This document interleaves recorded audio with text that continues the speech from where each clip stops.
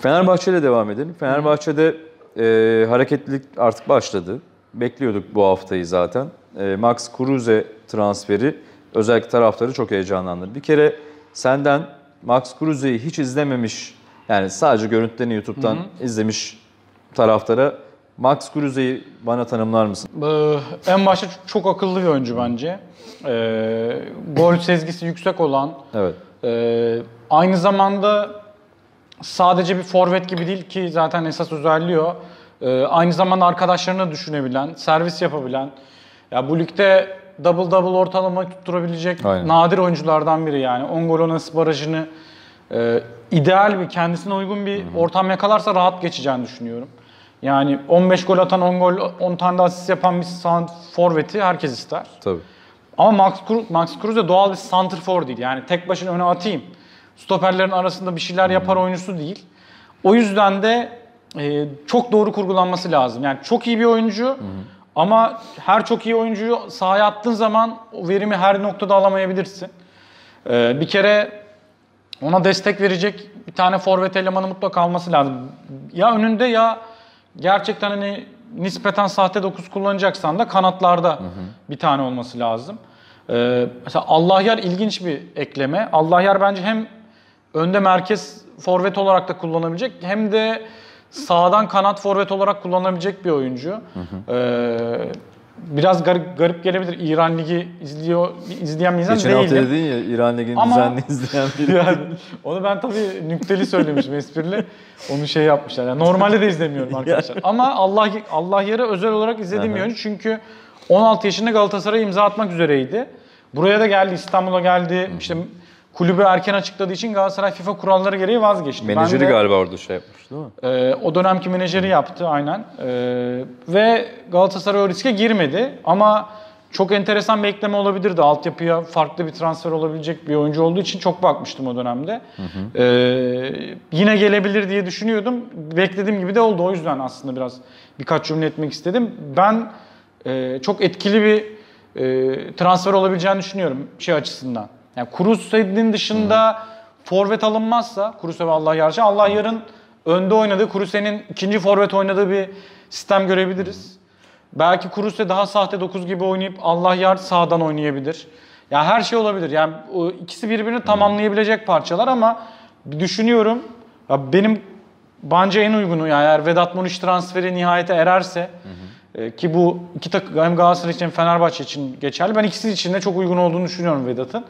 Vedat Kruse'yi daha iyi tamamlayacak, ona daha iyi alan açabilecek bir oyuncu olabilir. Peki Fenerbahçe'nin Vedat'a olan ihtiyacı, Galatasaray'ın ihtiyacı, şimdi bir teraziye koyduğumuzda hangisi ağır basıyor sence? Bence ikisinin de var. Bence çünkü yani Galatasaray sonuçta Cagney'in gittiği bir senaryoda düşünüyor. Ki bence Cagney ve Vedat kalırsa ya Foca'nın bir süre sonra Vedat'ı oynatabileceğini düşünüyorum. Yani ikisi birden olursa. Ee, Vedat ben iki takımın da 11 oyuncusu olacağını düşünüyorum Vedat'ın. Ya Vedat bence ya ilginç bir şey var ya. Nasıl diyeyim sana? Genel olarak da haklı bir şeydir. Hani bir sezonluk performans gösteren oyuncuya hemen gereksiz payeler biçilebiliyor Türkiye Ligi içinde. Absürt paralara gidebiliyor oyuncu ama Vedat bence oyuncu değil. Vedat bak Vedat'a 4 milyon falan veren bir takımın ben zarar edeceğini düşünmüyorum. Ya şi- mesela Galatasaray Şampiyonlar Ligi'nde oynatırsa Vedat'ı yani dördü havada karada alır. İstediği takımdan alır. Yani o e, şey olarak e, maddi olarak zarar getirecek bir oyuncu değil.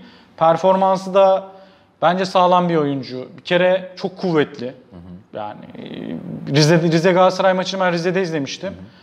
Ya böyle bir şey yok yani Luyendama gibi yani Luyendama benim gördüğüm bu ligdeki en sert stoperlerden biri en fizikli. Adamın belini kırıp böyle kemiğini emecek bir adam ama abi Vedat'a diş geçiremedi yani.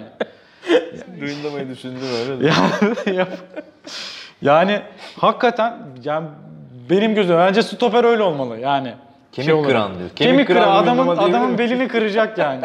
Rakip santrforu. Bunu da şey dedim Necati söylüyorum ama e, Vedat Vedat'a diş geçiremedi. Vedat bir orada bir orada yani yakın bile oynayamıyor. E, ben burada hani Luyendama'dan ziyade Vedat'ın Evet. yarattığı farkı diyorum. Başakşehir maçında keza adam Başakşehir ilmek maçı ilmek ördü. Belki de zirve maçıydı yani bu sezonun. Yani Tutamadılar yani. İnanılmaz oynadı. Yani Başakşehir'in resmen bütün sistemini tek başına arıza verdi. Bir adam geldi resmen Başakşehir'e error verdi yani. Ya Verdi. topu en az 5-6 saniye saklayabiliyor. Evet, bir evet. kere büyük takım oyuncusu özelliğidir bu. 2-3 defa mesela ki bak Galatasaray maçında gördüm zaten topu aldı, döndü, golü vuruşunu şey yaptı. Aldı, döndü sırtı dönük, ara pas attı. Hmm. Ne yapıyorsun abi sen yani? Sırtında stoper varken dönüp ara pas bırakabiliyor. Şeyde Fenerbahçe maçında direkt dönüp attı diye hatırlıyorum mesela pozisyon. Yani boşuna Ee, değil diyorsun Vedat. Bence Savaş eder abi. Ben ede- edeceğini düşünüyorum. Ha, şimdi Fenerbahçe'nin alsat sorunu daha büyük bence. E, çünkü Fenerbahçe'nin çok farklı mevkilerde oyuncuya ihtiyacı var. Şimdi Kurus'la biraz daha Kurus'un şöyle bir tehlikesi var. Bu kötü yani çok iyi bir oyuncu ama direkt santrfor zannedilebilir ilk bakışta eğer doğru analiz edilmezse. E, ya Kurus'u aldık Vedat'a ne gerek var noktasına gelirse ya da çok büyük paraları çıkmayalım noktasına gelirse Fenerbahçe'nin ben hata yapacağını düşünüyorum. Kruse'nin arkası kim olur? Allah yarı saymazsak. Elde çok oyuncu da yok çünkü. Abi Ya işte sıkıntı o. Bence Kuruse'nin Evet. arkası değil, Kuruse'nin önü olması lazım. Evet. Kuruse'nin yani Kuruse bir on numara değil ama Kuruse bir ikinci forvet. Ee, bu şeyin arkasından hani santrforun arkasında konumlanırsa o 10 gol 10 asist barajını en kolay orada geçer bence. Peki en uçta oynattı diyelim hoca Ersun Hoca. Orada şimdi sayısı olarak şey de yok. o zaman Fenerbahçe. forvet kimlikli bir kanat oynaması şart. Evet yani o yüzden Trezeguet ismi e, anılıyor ama çok tabii pahalı. Yani baktığınız zaman. büyük para. Trezeguet Rodriguez'in ismi geçiyor. Rodriguez'le ilgili ne diyorsun? Yani olur mu sence? Olursa nasıl katkı verir? Rodriguez de daha aslında biraz daha merkez santrforla oynamayı seven bir oyuncu. Hani verdiği verince tutup geri verebilecek bir oyuncu. Daha oynamayı ister. Bence Geri'nin performans bir kere ya Geri Rodriguez Türkiye'nin prototip kanat oyuncusu yani. Tam böyle ya bu adam gelir sana 10-12 tane atar. Ee, top ve kritik kilit- kilitleri açabilir bazı maçlarda iki derse. kanatta da benzer oranda oynuyor. Sağa da koyduğunda bozulmuyor. Solda da içe kat ediyor ama sağda da niye buradayım demiyor. Öyle ama solda daha rahat ettiğini Tabii solda daha rahat. Ee, ya Rodriguez biraz şeye bağlı. Nasıl diyeyim sana? Hangi Rodriguez? Yani Galatasaray'da mesela ilk yarıda ayrıldı ya ilk yarı sonunda. Ben o ilk yarı sonundaki Rodriguez'in Ali İttihat'ta çok istediğini veremeyeceğini tahmin edebiliyordum. Tabii. Çünkü Eylül'den sonra öyle bir düşüşe girdi ki O e, imzadan sonra oldu. imzadan Sözleşmeden sonra. Direkt sözleşme düştü. odaklı mı, fiziksel mi bili bilemiyorum. Ama o Rodriguez Fenerbahçe'yi tatmin etmez. Ama adamın ortaya koyduğu bir performans var. Bu ligde bir sezon çok net e, performans verdi. Fiziğini biraz toparlarsa, kafası biraz daha futbola aç hale geldiyse çünkü belli ki orada çok da futbola konsantre olmadı. İyi parayı aldık. Tabii. Artık son gerisine bakarız noktasındaydı ama futbola konsantre olan fiziken diri bir Geri Rodriguez'in iş yapmama ihtimali yok. Fenerbahçe'nin geriye gitmesi kadar doğal bir şey göremiyorum ben. Ama Geri Rodriguez de mesela Kuruse'yi mi santrfor tercih eder, Vedat'ı mı? Ya ben Vedat arkasında Kuruse, solda Geri. Sağda Moses. Bak Moses o zaman çok daha iyi oturur bak. Çünkü. Moses'ın Moses'ın hücum oyunu çok sınırlı. artacak. Çünkü geçen sene Skor oynadığı grupla şimdi bu sene oynadığı grup daha farklı olacak. Tabii ki. Bu sene mesela kafayı kaldıracak, Cruze'ye verecek, boş koşu yapacak, Cruze onu görecek. Geçen sene veriyordu, boş koşu yapıyordu, yeni de gelmişti, alamıyordu. E bir yaparsın, iki yaparsın, üçüncü de yapmazsın yani. Bir de şimdi Moses fiziksel olarak kuvvetli bir oyuncu. Tabii. Doğal, İyi de doğal bir sezon öncesi kampı geçirirse şimdi Ee, kendi doğal olur. sınırına gelirse seviyesine. e, şimdi geri e, defansif katkısı olmayan bir oyuncu değil e, ama topla oynayan bir oyuncu. Çok topla dribbling odaklı topsuz bir oyunda oyuncu. çok Vedat Moses servisçi kadar bir oyuncu. profesyonel değil asla yani. Yani Moses e, her yere yama O yapabilecek bir adam. tamamlar, Moses tamamlar. Rodriguez çok sol bekin canını yakar yani. Ya bu kadar hücum odaklı bir adamın e, sola koyuyorsan sağda Moses'un olması çok daha mantıklı Orada olur. dengeyi kuracak hoca. işte. Ben bence ideal iyi bir e, ekip olur orada. Bir de Moses kendini çizgiye atacak, çizgiye basacak. Rodriguez çizgiye basacak. Bu oyunun da genişlemesini sağlayacak. Orada da işte Max Kruse'ye iş düşüyor. Ben geçen bölüm şey demiştim, ona çok güldük. Berkay'laydı galiba. Max Kruse poker oyuncusu ya. Bu sezon Fenerbahçe'de kartları Max Kruse dağıtacaktı. Doğru. Ona bayağı güzel, güzel bir cümle Bence olmuştu. bu arada ya, poker doğu yani şey He, onu profesyonel soracak. Sen ne düşünüyorsun Abi- o konuda?